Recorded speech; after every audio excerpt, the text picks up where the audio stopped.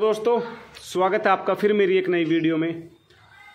तो दोस्तों, जैसे कल मैंने एक वीडियो डाला था, मैं चूरन, पाचक चूरन बना रहा था तो दोस्तों का, बहुत सारे दोस्तों का रिक्वायरमेंट आया कि आप इसके घटक द्रव्य हमें भी बताएँ और इसके पूरे गुण और फ़ायदे बताएँ। दोस्तों, अगर मैं इसके पूरे गुण गिनाने लगूँ तो वीडियो बहुत ज़्यादा लंबा हो जाएगा और वीडियो, बहुत सारे दोस्त बोलते हैं कि छोटा बनाया करो, बहुत सारे दोस्त बोलते हैं, आप पूरी बात तफसील से समझाया करो, चाहे वीडियो कितना ही बड़ा हो जाए। तो दोस्तों, फिर ज़्यादा बड़ी वीडियो अपलोड करने की भी दिक्कत होती है, कई कई पार्ट इकट्ठे करने पड़ते हैं। तो दोस्तों, मैं आपको इस नुस्खे के घटक द्रव्य और वज़न अनुपान बताता हूँ। तो आपसे मेरी एक रिक्वेस्ट है कि मेरे चैनल को सब्सक्राइब कर कर बेल आइकन की घंटी को प्रेस कर दे, ताकि आने वाली वीडियो का नोटिफिकेशन आपको फटाफट मिल सके। तो दोस्तों, ये नुस्खा, वो नुस्खा है जो आपके पेट के हर मसाइल को बिल्कुल बेहतरीन फिट कर देगा। दोस्तों, अगर आपका पेट खराब है, तिजाबियत है खट्टी मीठी डकार आती हैं, सीने पर जलन चढ़ती है। ठीक दोस्तों, फिर वो जलन आपके दिमाग को चढ़ती है वही फिर दिल को चढ़ती है। फिर आपको, जब वो दिल को चढ़ती है तो दिल भी फैलने लग जाता है। आप दिल के हार्ट की पेशेंट बन जाते हो, दिमाग को चढ़ जाती है तो आपका दिमाग फेल हो जाता है। आप सोते हो तो दिमाग नहीं सोता, पता नहीं बाल उड़े पड़ेगी पता नहीं क्या क्या बातें सोचता रहता है।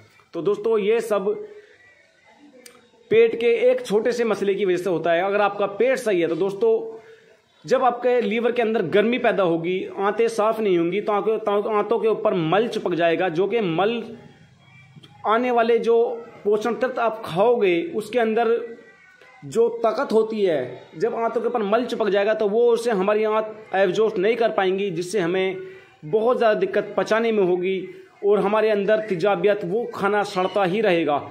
वो हमारे सीने के ऊपर चढ़ेगा, दिमाग को चढ़ेगा हाथ पैरों के अंदर गर्मी पैदा होगी, दिमाग के अंदर गर्मी पैदा होगी, नज़र कमज़ोर हो जाएगी, गुर्दे कमज़ोर हो जाएँगे, किडनी फेलियर हो जाती हैं दोस्तों, तिल्ली बढ़ जाती है हमारी, आंतों में खुश्की बहुत ज़्यादा हो जाती है, खुश्की की वजह से मल चिपक जाता है, और कई बार दोस्तों तरी की वजह से भी चिपक जाता है। आपने देखा होगा अगर आपने कोई रबड़ी वगैरह देखी होगी, आप उसमें उंगली डाल दें तो आपकी उंगली पर चिपक जाती है रबड़ी। तो इसी तरीके से जब दोस्तों हमारे अंदर का मल ज़्यादा पतला होगा तो हमारी आंतों के ऊपर वो चिपक जाएगा, वो छूटेगा नहीं, साफ़ नहीं होगा।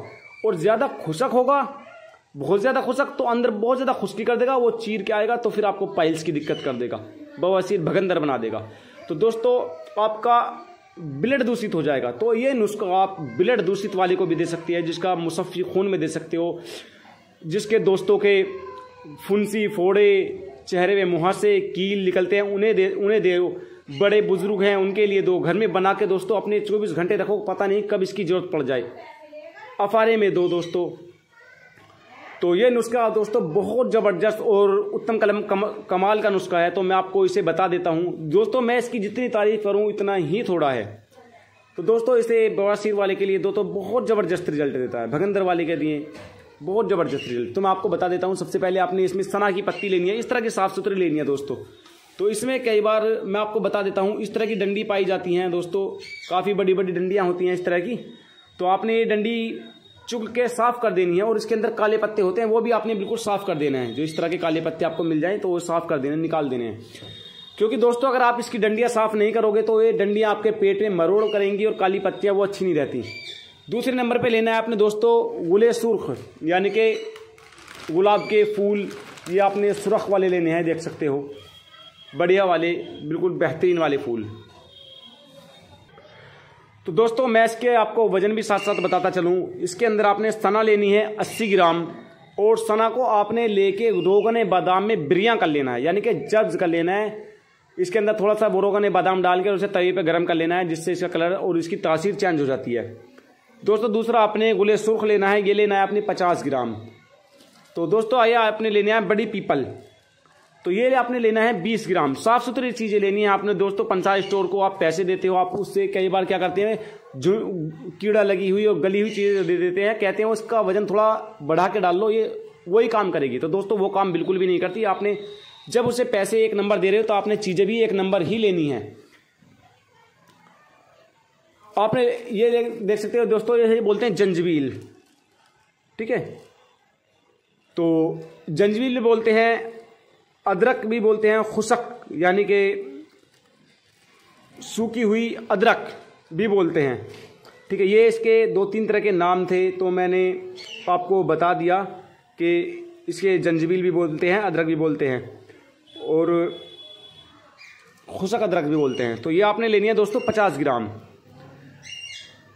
दोस्तों, ये आ गया अपना रेवन उसारा। ये दोस्तों वज़न में बहुत ज़्यादा हल्का होता है और ये इस कलर का होता है, हल्का सा येलो कलर में। एक होता है दोस्तों रेवन चीनी, एक होता है रेवन खताई। तीनों ही चीज़ एक अलग अलग हैं और तीनों के ही काम अलग अलग हैं। दोस्तों, ये वज़न बहुत ज़्यादा हल्का होता है तो आपने यही वाला लेना है। तो ये लेना है आपने रेवन दुसाना चालीस ग्राम। दोस्तों, ये थोड़ा बहुत ज़्यादा महँगा भी आता है, इसलिए दो नंबर कर देते हैं, इसमें पंसार वाले। ये है दोस्तों अपनी अजवाइन देसी। तो ये लेनी है आपने तीस ग्राम। दोस्तों ये आ गई अपनी काली मिर्च। ये आपने लेनी है दस ग्राम। ये आ गया दोस्तों अपना जोखार साफ़ सुथरा इस तरह का लेना है। ये आपने लेना है चालीस ग्राम।